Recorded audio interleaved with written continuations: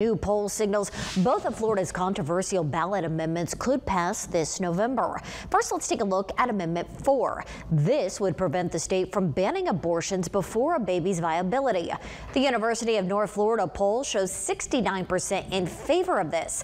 Now remember, ballot amendments do need 60% to become law. Only 23% said they're against it. That same poll shows voters are also backing Amendment 3. This would legalize recreational recreational marijuana. 64% are in favor of this, while 31% are opposed. The poll's demographics were 40% Republican, 38% Democrat, and 22% independent or other. Now, Florida's top cops are taking a stand against Amendment 3. The state's Police Chiefs Association released a statement against it today. They say legalizing recreational marijuana will lead to higher crime, more car crashes, and tougher jobs for law enforcement.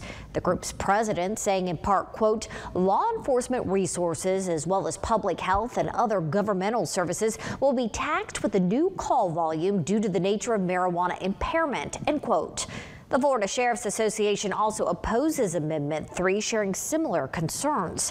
However, Gadsden County Sheriff Morris Young supports legalizing recreational marijuana. The amendment's creators, Smart and Safe Florida, say Sheriff Young endorsed them earlier this month. The group also rejects claims legalizing pot would increase crime and car crashes.